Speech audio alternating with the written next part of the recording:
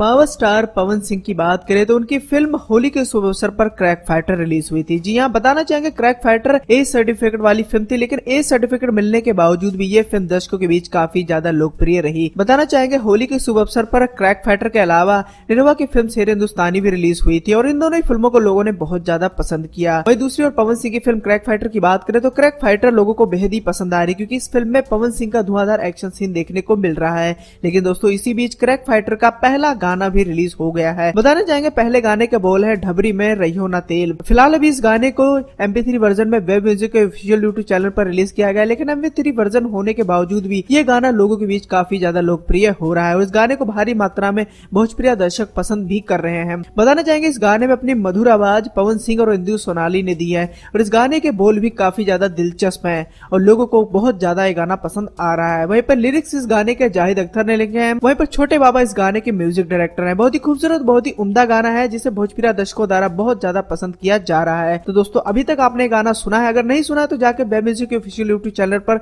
सुनिए और हमें अपनी राय दी कि आपको गाना कैसा लगा।